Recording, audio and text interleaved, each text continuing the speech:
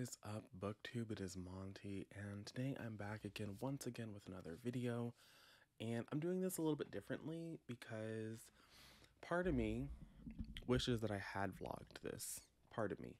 But the other part of me knows that um, I wouldn't have liked that.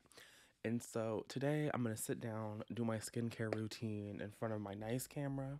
We're to have a nice, soft discussion about Sarah J. Maas, about House of Sky and Breath, how Sarah played in my face for 2,000 pages. I say 2,000 because I'm going to include the page count of fucking um, House of Earth and Blood. And I know that it's really closer to 1,500, but fucking 2,000.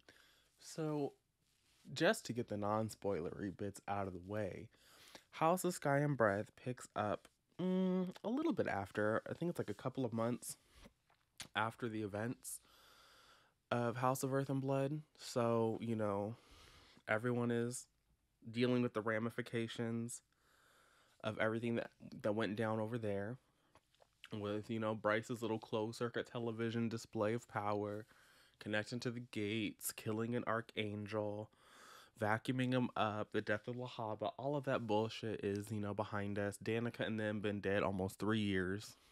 That's gonna be important. And they're at the, you know, the little opera house. The prologue, we see we see the human rebel forces. Um, ostensibly, this book is a missing persons case. First book, as you'll recall, was a murder mystery.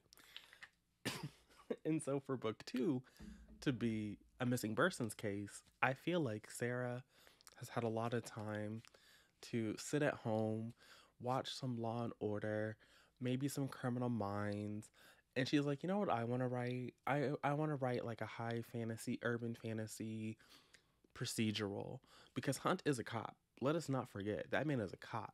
He is a police officer, and so she's like, that's what I want to do. I want to write my urban fantasy police procedural, but I didn't really want to follow the police. And so we follow Bryce. And I have to say that I don't understand why Bryce is the main character. Because in this book, she does quite little. The book is told from varying perspectives. We get Bryce's point of view, we get Hunt's point of view, we get Tharion, Tharion is so important that in the Target edition that you see behind me, that is going back to Target because the US editions and the international UK edition that I have of the first book, the spines don't match. They look really ugly sitting next to each other. So I ordered a copy from Blackwell's and that'll be here soon.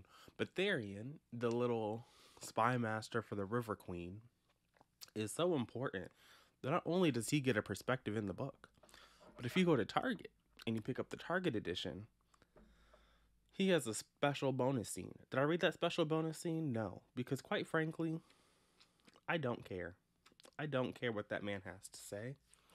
I don't care what he was off page doing during the events of House of Sky and Breath because that man should have been doing them during the events of House of Sky and Breath because all of his chapters are the same. He's going to the River Queen, he's updating the River Queen, he's complaining about having to work for the River Queen, talking about how he would much rather be above and not beneath, and how he has to run to the water. He has to run to the water so he doesn't, you know, permanently stay a human and not a mer person. But he wants he wants he wants to be free of the River Queen. Let us not forget now that that's all out of the way, we can talk about Miss Sofie and how she is the center of this whole book. And us searching for Sofie and Emile is the center of this whole book. And yet, very little of the book actually details the search for these characters. Like, the the way that Sarah J. Maas wanted us to feel that these characters were going to be so important and then did absolutely nothing to find them is a little um how do you say shocking? Uh, i thought it was shocking that we literally did nothing with them. We literally did nothing to find them. We were literally just it was all vibes. And in the search for this super important character that was very clearly dead like very clearly dead. It was also a very interesting choice to have the the actual plot of the book be propelled by grief in the second book. And I, here's the thing about grief. I do believe that grief is a, a an odd thing. Either way, the first book was propelled by the first book was allegedly propelled by Bryce's grief. When I read that first book uh, over the course of five days on the reading live sprints that I held, I was bored the entire time. And then after I finished it and I did a little live show with other creators, I think it was with Mayana and Chandler and Mina from Mina Reads. I think it was, there might have been some other people on that live. I don't remember. But on that live and even in subsequent discussions of the book, everyone talks about how grief is like a really powerful aspect of that book and how they really felt that Sarah J. Maas was able to depict Bryce grieving her friend um, in like a really interesting way. And I just didn't see it there. I thought that it was foolishness how uh, Danika had died and Bryce was content to live her. I mean, she wasn't content. She did talk about how like she was like suffering um, how she had like this scar that she didn't want to get rid of because it was Danika and how the, the scar hurt her sometimes, but it was okay because it was for Danika. Like there were like small elements that were like for Danika and like that was her grieving. Um, but in the second book, Danika and the pack of wolves or the, the den of wolves or whatever the fuck their little ragtag raggedy name was continue to have like this really outsized presence in the narrative. Not only do we find out more things about Danika's past and Danika's character, I do agree with Aaron where it's like every five seconds our our girl Bryce Quinlan was out here talking to like, oh, Danika would never, the Danika I know. But it's kind of like, bitch, did you know Danika? Like, were y'all friends? Like, y'all had matching tattoos. Y'all were like going out to the club every night. Y'all lived together. Sis left you this fancy new apartment, all this bullshit. Danika had a whole separate life in the first book from you. And yet, when that life continues to be exposed and unraveled, Bryce continued to be like, yeah, Danika would never. What do you mean? My my preconceived notions of Danika are all like being thrown into the wind. And it's like, bitch, that should have happened the moment you found out that she ground down a priceless artifact and had it tattooed onto your skin. Maybe that's just me. Maybe that's just me. But the minute I find out that my friend actually, you know, not only stole this magical, powerful object, was playing on my face telling me that they were on the hunt for it, that they were going to try and collect the bounty for it, and were helping me look for this. And the whole time, the shit's been tattooed on my back. You're not going to catch me caping for them. Like, we can still be friends, I can still be the homie, but you're not going to catch me being like, I knew them so well. It'll be like, yeah, bitch, I thought I knew them, but XYZ happened and I don't know no more. But I also thought that it was really lazy for all of the really big plot twists of the book were related to Danika and things that we didn't know about Danika and what Danika had discovered and the things that Danika had discovered leading to her being killed. And it's just kind of like we already went down this path and what she is giving me now makes no sense. I also had an I uh, how do I talk about this? I did not like the use of the human rebels in this book. Um, I did like how they were very clearly willing to backstab the Vanir. I did appreciate that. I did think that was a a character trait of them of, of the situation that I found to be both believable and a little bit exciting, dare I say. Like I thought that that was a very good choice to have that happen. But at the same time, some of the way that like Bryce was going around talking to them, I thought was a little bit unnecessary. Like when they were at, I forget where they were at. They were doing something with the rebels, and Bryce showed up, and she was like, "Y'all are just ugly. Like y'all are." y'all are garbage. Um, so yes, I was getting my nails done, but actually I'm here to help you little uglies out now. And it was just like bitch, like what? Like it was weird. It was very weird to see them like dismiss them. And like yes, the rebels are like a terrorist organization or whatever, but at the same time, like the Vanir are actually usually horrible to these people. And so for the humans to like fight back against these magically gifted people was fine for me. Hunt's reticence to join and like help the humans was like sure fine, but like basically the human rebellion turned into like this whole like red herring of a plot and I was just like this whole thing was a a red ha- like the whole the whole thing like Sarah just like waved her hand and was like, "Yeah, um, I know that my characters are like oppressing humans and like talking down on them, and we're doing this whole other plot line where Captain Save a Ho, the fraternity edition, is like trying to free the slaves that are like magical, but like these human bitches, like they're just raggedy but we're gonna go back over here to Captain Save a Ho Fraternity Edition, and they're gonna save magic. It was just weird. It was we. It was a weird choice. It was also a weird choice. How I didn't like this romance. I don't like Hunt. Um, I've never liked Mr. Orion Altavar. Whatever his last name is, I hate. I hate Hunt. Okay, I don't believe that man washes his ass. I don't believe it. Uh, I don't like. I, I do think that it was very strange how there was not a single sex scene where he didn't turn into like a human lightning or uh, an angel lightning uh be, like bolt. It was weird how like he couldn't seem to pull his dick out without also crackling lightning all around his body. Like sir what are you? Every time he pulled his dick out so came the electricity. And i was just like that's not sexy. Like I didn't think that it was sexy. Uh, I didn't think it was sexy at all. I also didn't think it was sexy how the romance continued to be slow burn. It's like, why would you have this? I mean, on one hand, I thought it was really cute how they wanted to have like this little agreement not to fuck until the winter solstice.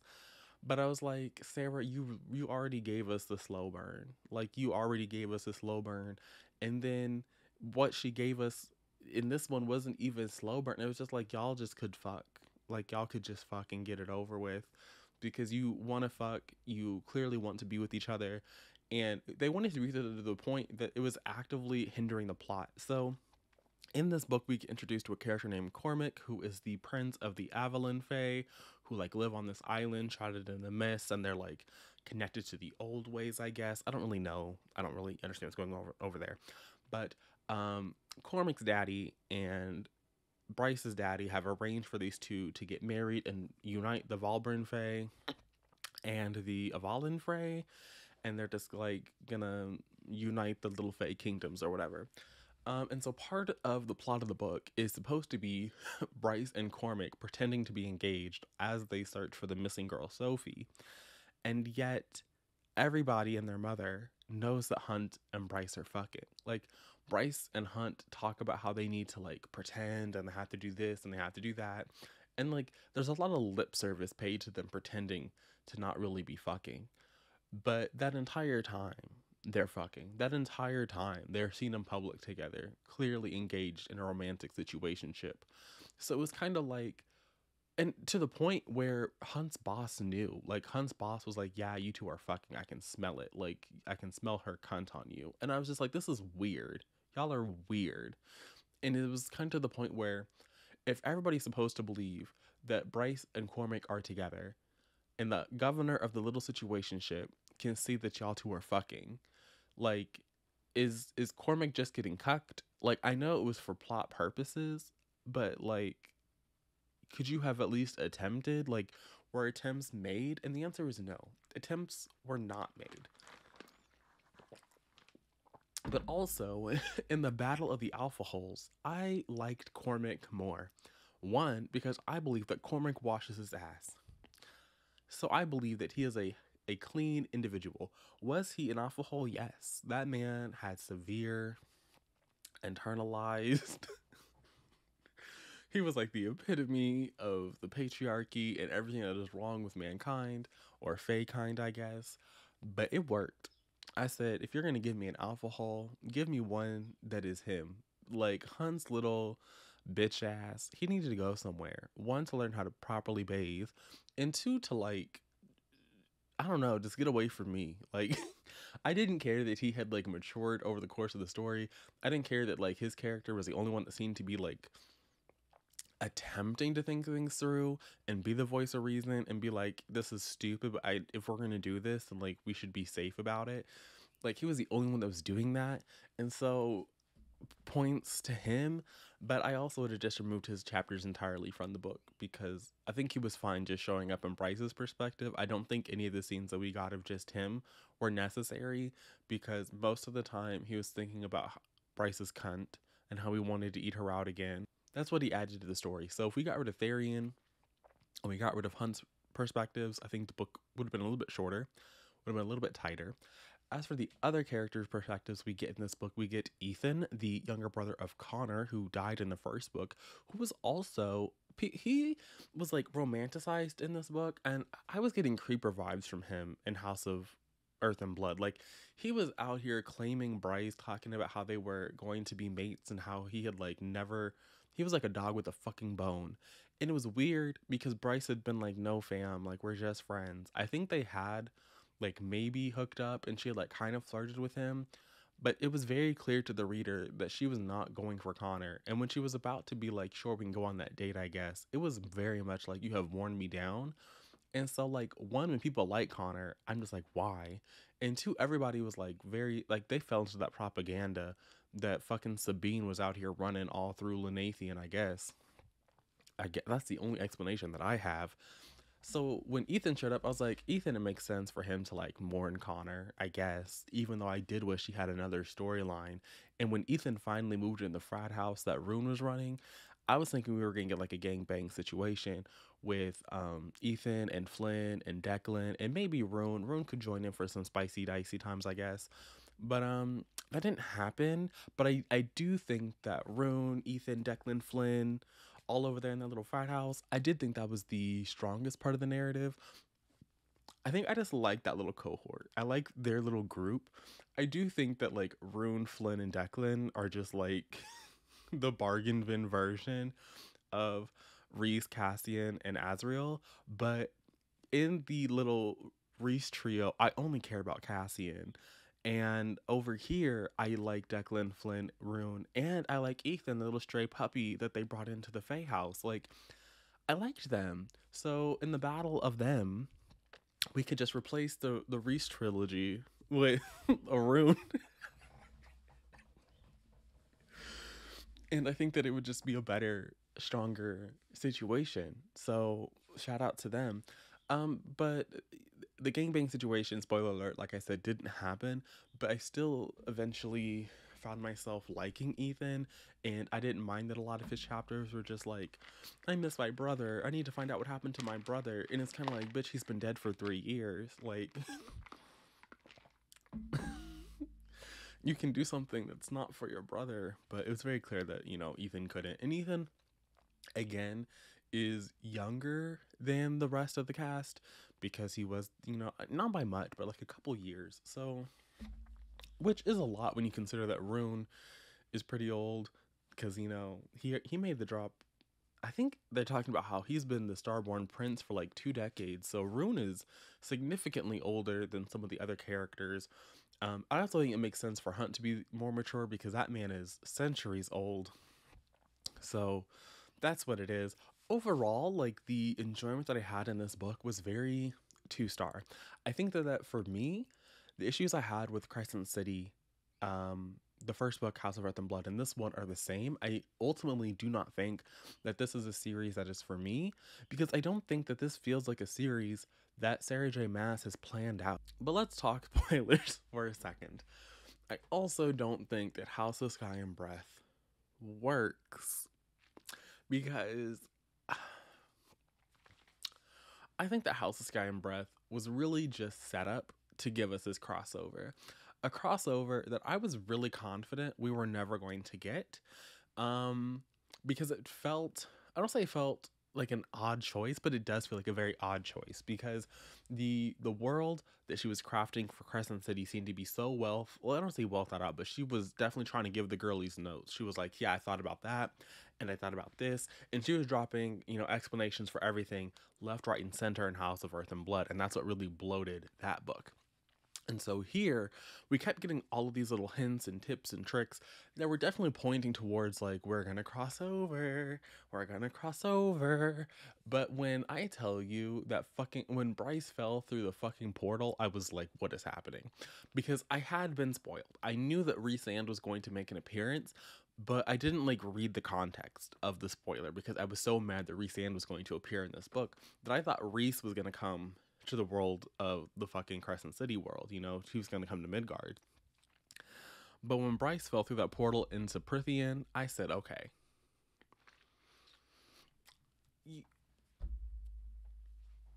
Okay, um, my interest is peaked. But at the same time, um, what? Like, I also thought it was very, um, I was I was also very much side eyeing when we found I we might have found this out in the first book, but when uh in this one when they were going to the Asteri little palace or whatever and it was a crystal palace, I was like like the glass castle.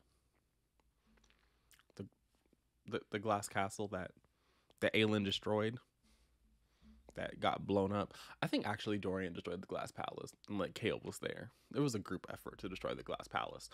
But um that like that glass palace like was that a reference did they see the Havilliard mansion and they were like you know what? You were on onto something mr Havilliard and they just like built their own version but that aside when she when she fell through the portal and was in prythian i was like okay this is a little bit more interesting because one it was very clear that she was not in fucking hell when she was seeing that there was like grass and mist or whatever although i wouldn't put it past fucking sarah j. Maas to put in grass in her version of hell but um Cassian and and Feyre and and, and cohort popping in in at the end of this book, I was like, okay. But I am also just very much like, but what's what is the reason? Because not only do I have to wait for House of Earth and Blood, or what is I think the next one is probably going to be. Mm, I feel like Flame and Shadow is like a really. It's like a really punchy ending. So if there's going to be four books, I would assume that Flame and Shadow would be the last one. But if there's only going to be three, um, because I, I would not want the last book to be House of Many Waters. That's a, such a sad little book title. But um, I also do think that it was weird to give House of Sky and Breath a blue cover. Is there going to be two blue covers? Like, what are you going to do for Many Waters? So maybe I think this might just be a three and done, and we're going to end with Flame and Shadow. But we also already have a red cover, so I guess the next one's going to be black. I don't know. Either way.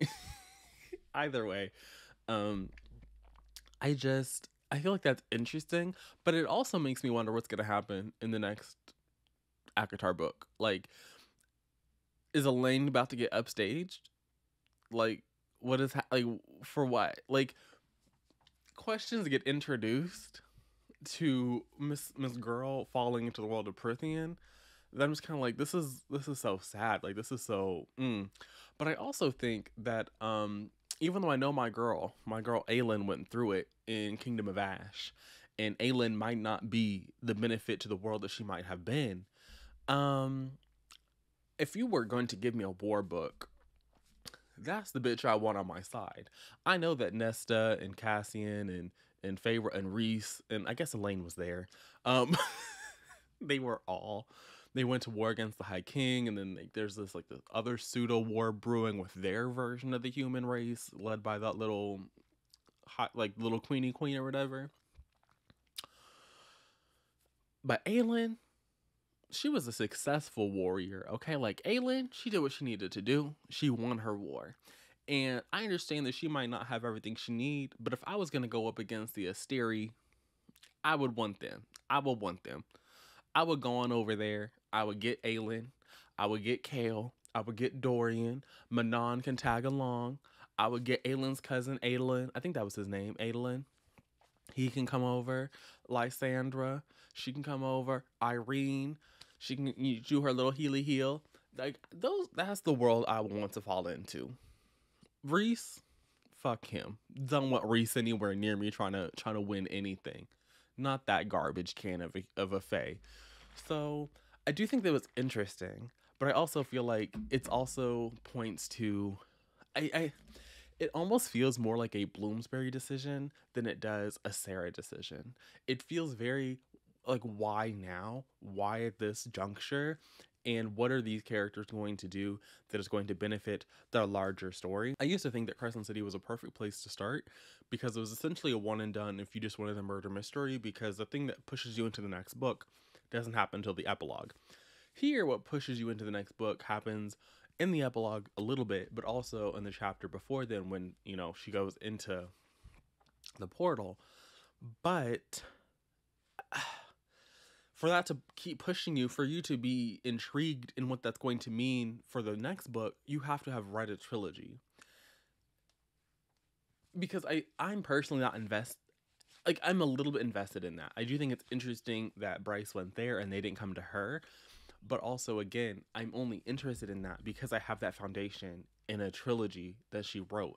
And I know that a lot of people read that trilogy, but I also know that some people um haven't. I know that up for some people, House of Earth and Blood was their first Sarah J. Maas book, and I know that came out two years ago. So in that time, they might have gone back and like read her backlist but some people might not have because the other books are not urban fantasy. So if you were the urban fantasy girly and you read House of Earth and Blood because it's the urban fantasy, and now you have to go read this like raggedy, uh, fucking Beauty and the Beast retelling, and then this raggedy little war that Sarah J. Maas pulled out of her ass, so you can read the urban fantasy one.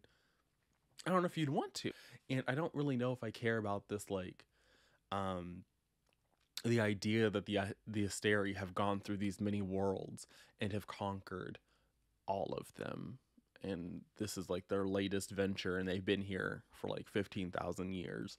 Don't know how invested I am in that narrative or in seeing that war play out or what that's going to mean going forward, but Sarah has a hold on my wallet because I will be purchasing I will be purchasing the next ACOTAR book. I will be purchasing the next Crescent City book. I don't have space on this shelf no more.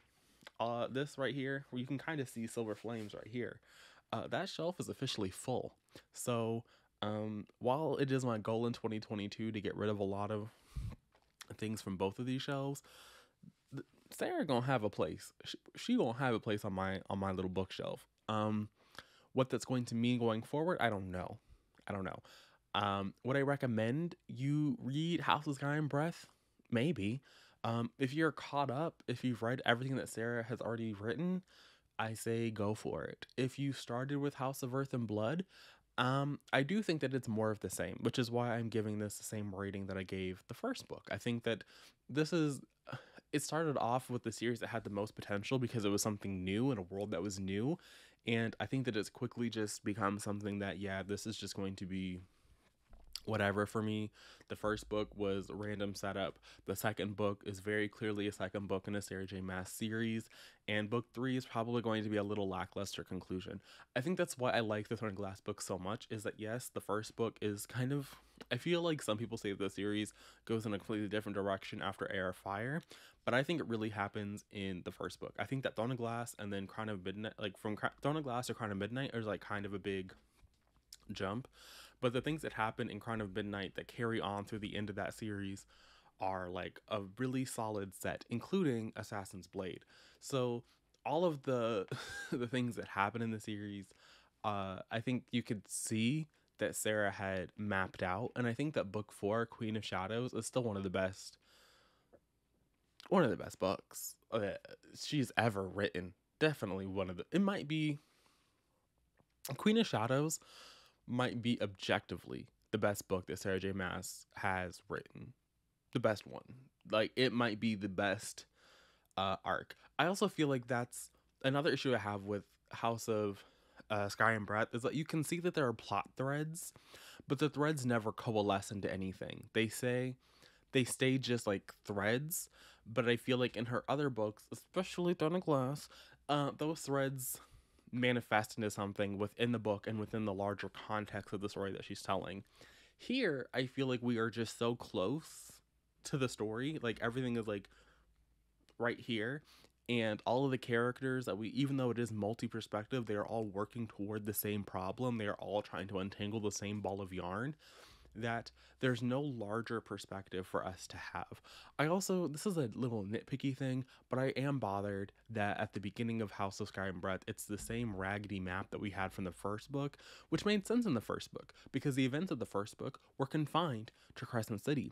But in the second book, we are going to all different kinds of locations and places that have nothing to do with Lunathion. And so it's like, okay, this is cute, but I need like a larger context of this world. I'm not like a map girly, but I do think it would have been nice to like kind of see once and to maybe reference back because they were talking about so many different locations in this world that I have like no idea how long it was taking these people to get places. Not that it matters because they do have like modern technology, but Sarah does also do this thing where at the end of one chapter we're doing one thing and then the next chapter starts off with 2 weeks later one week later, sometime later. And I was just like, sis, please stop. Um, so ultimately, I did give this book two out of five stars. Like I said, I will be continuing. And whether or not you should pick this up and continue on is really going to be up to you. It's going to be up to the things that you know that you like. And again, I know that Monet really loved House of Earth and Blood, and she gave this book one and a half stars half a star, one 1.5 stars. Like this was not the bag, it was not the moment, but she will also be continuing. So, I do think that there is your mileage is going to vary whether you're a person who thinks that Sarah can do no wrong or whether you're a person that is just bored by the Crescent City situation. And I find myself kind of just on the latter end. Like I've read so many of her books. The only book I haven't read from her is Catwoman. And so it's just like I've seen so many of these like repeated tropes and so many of these repeated like ideas that it's hard for me not to compare them against each other because when you're going to write in the same wheelhouse over and over and over again. Also, this is a side note, but at the end of the book, when she revealed that all of her new magical characters were really just Fae, electric chair, electric chair, the fucking sapphics that we got in this book, electric chair. Bitch, we said we wanted Danika and Bryce, and you gave us the raggedy uh fucking governor lady backstabbing and turning bitches in and the person that fucking uh Ruhn is engaged to be betrothed to. Get the fuck out. Nobody asked for that bullshit. So I'm gonna go. I'm gonna go. Hopefully, editing Monte was able to edit this into something that was actually watchable. Fingers crossed for that. Um, and if you've read House of Sky and Breath, let me know down below if you're going to continue on. And three, you can drop, uh, uh, well, I'm going to steal Aaron. We're going to drop a blue heart emoji down there in the comment section today. So thanks for watching. I'll see all of you guys again really soon. But until then, and until next time,